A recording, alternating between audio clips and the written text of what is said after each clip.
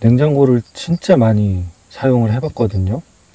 진짜 많이 갈아탔는데 솔직히 요새 이렇게 색깔 이쁘고 디자인이나 색상이 예쁜 냉장고들이 되게 많아요. 많은데 제가 실제 사용해 본 경험상 활용성 면에서는 이 냉장고가 저는 제일 좋았어요.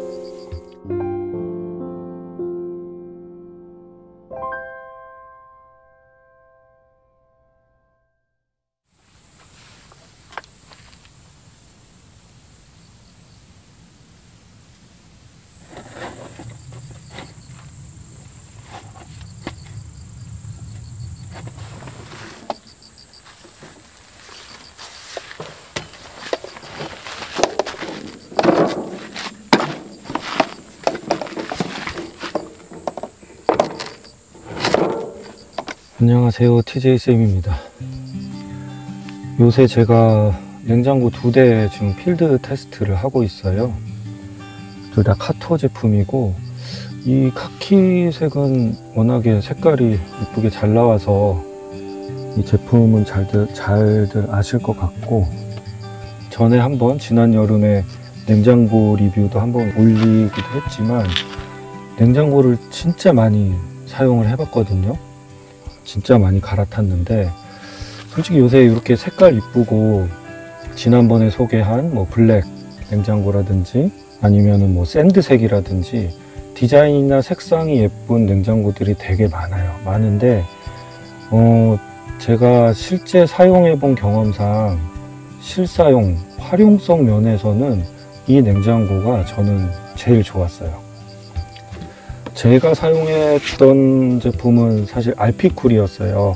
카투어 제품은 아닌데 알피쿨 초창기 모델이었는데 이렇게 뚜껑을 열고 보시면 오 얘는 좀 더 좋다. 이렇게 뭐 냉장, 냉동 두 칸으로 나눠져 있고 뭐 온도 설정을 어느 쪽을 얼만큼 하느냐에 따라서 뭐 얘를 냉장으로, 냉동으로 혹은 얘를 냉동으로, 냉장으로 아니면 뭐 둘 다 냉장이나 둘 다 냉동으로 쓸 수가 있는데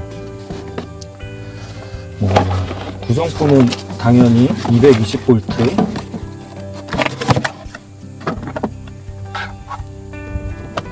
네, 220V 연결할 수 있고요.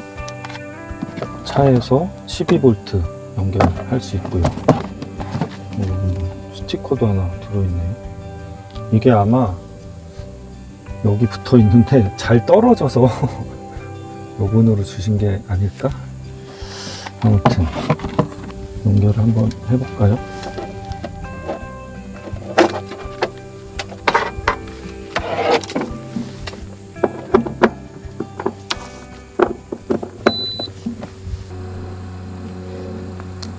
지금 여기가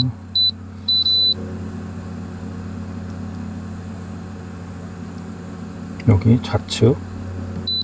마이너스 17도까지. 아 이게 어, 두 개가 같이 온도 설정이 같이 되네요. 뚜껑을 닫고 있을까? 왜 같이 되지?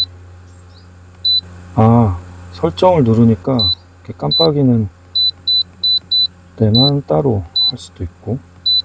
음 마이너스 20도까지 되네 그러면은 둘 다 깜빡일 때 말고 위에만 음? 둘다 움직이네 왜 둘 다 움직이지? 아 위에만 조정이 되는 거네 따로따로 온도 조절이 되고 에코 모드, max 모드 조절되는데 자 제가 이 제품을 진짜 추천하는 이유 그리고 실사용 해봤을 때 너무너무 유용했던 기능 중 하나가 각각의 칸이 분리되어 있잖아요. 가스켓을 빼볼게요. 가스켓이 가볍네. 지금 요 칸막이가 탈착이 가능하다는 점이에요. 이게 진짜 유용해요.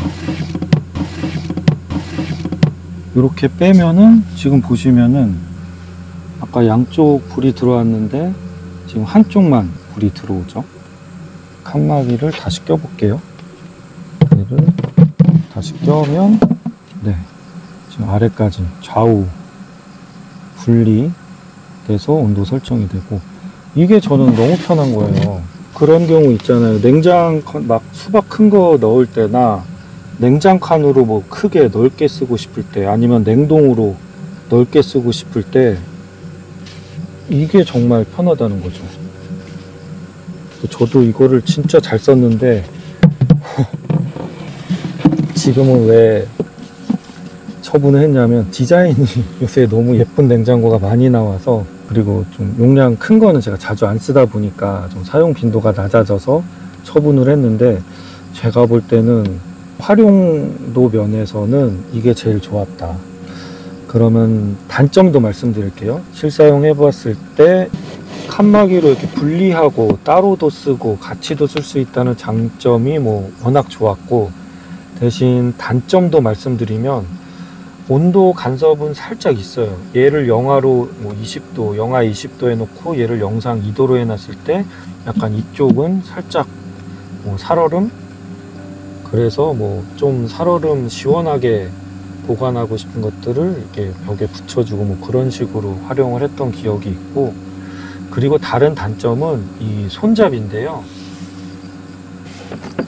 이게 그냥 양손으로 들 때는 이렇게 좌우 손잡이 달려져 있고 두 손으로 들 때는 이렇게 손잡이로 들면 되는데 펄이 나갑니다.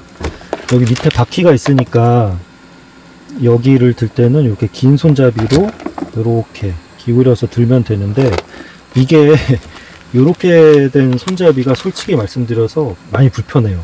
들었을 때 다리가 걸리기도 하고 또 이 꽉 채우면은 끌고 갈 때 이 무게를 얘가 거의 다 들어야 돼서 엄청 무거운 건 사실이거든요.